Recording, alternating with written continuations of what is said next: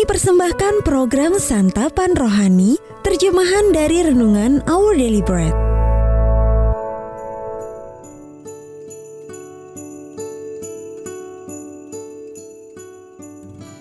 Sahabat ODB, pembacaan Alkitab hari ini terambil dari Yudas pasal yang pertama ayat yang ke-17 sampai dengan ayat yang ke-23.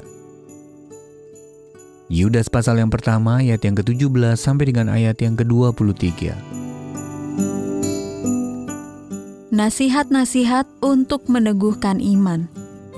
Tetapi kamu saudara-saudaraku yang kekasih, ingatlah akan apa yang dahulu telah dikatakan kepada kamu oleh rasul-rasul Tuhan kita, Yesus Kristus.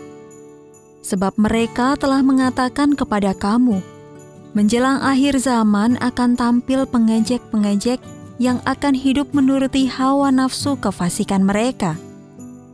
Mereka adalah pemecah belah yang dikuasai hanya oleh keinginan-keinginan dunia ini dan yang hidup tanpa roh kudus. Akan tetapi kamu saudara-saudaraku yang kekasih, bangunlah dirimu sendiri di atas dasar imanmu yang paling suci, dan berdoalah dalam roh kudus.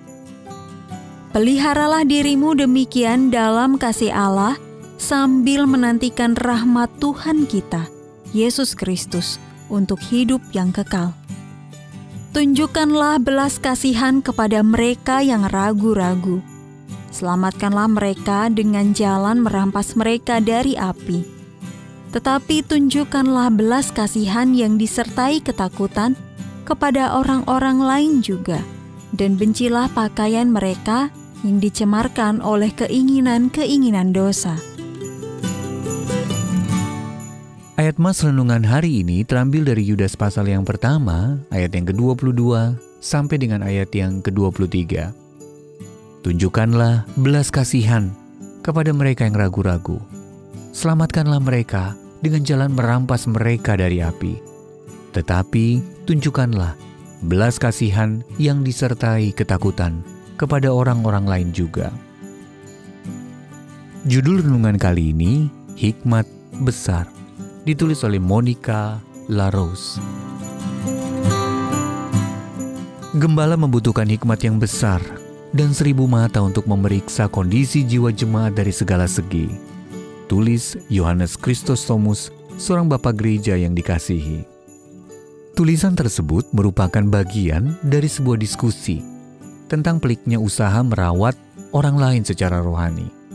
Karena tidak mungkin memaksa orang lain untuk pulih, Kristostomus menekankan dibutuhkannya empati dan belas kasihan yang besar untuk dapat menjangkau hati orang lain. Namun Chrysostomus memperingatkan, hal itu bukan berarti kita tidak akan pernah menyakiti mereka. Jika Anda bersikap terlalu lunak kepada orang yang membutuhkan operasi besar dan tidak menggores cukup dalam, sayatan Anda tidak akan mengenai sasaran. Namun sayatan dengan sewenang-wenang tanpa belas kasihan membuat pasien yang sudah putus asa karena penderitaannya menjadi tidak peduli lagi untuk kemudian menyerah.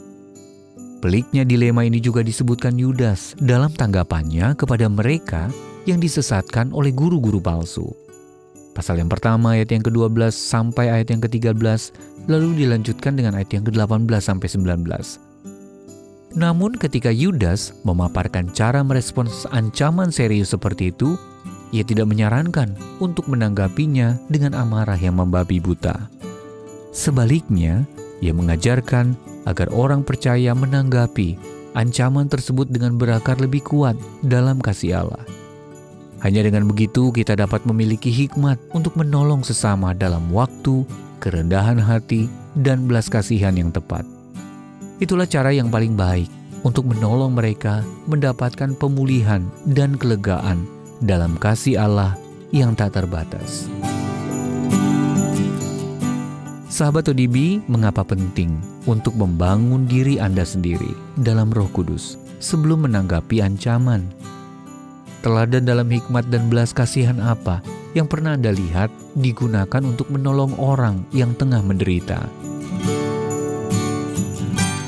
Allah Maha Pengasih ketika aku menghadapi kejahatan dan kebencian, tolonglah aku untuk tidak membalas, melainkan makin menguatkan diri dalam kasih-Mu.